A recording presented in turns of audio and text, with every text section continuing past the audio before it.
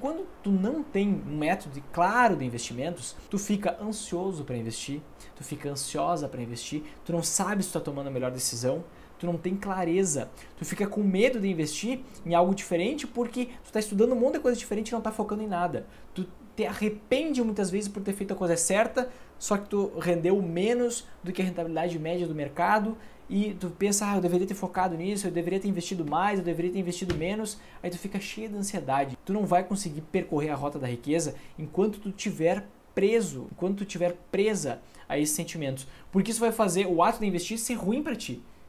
Entende? Não vai fazer sentido tu ficar investindo teu dinheiro sendo que tu está sofrendo com isso. Só te gera ansiedade e tu vai querer pegar e delegar o teu investimento para um fundo de investimento. Aí tu vai pagar taxa de administração, taxa de performance, imposto de renda, tu vai estar exposto aos piores cenários.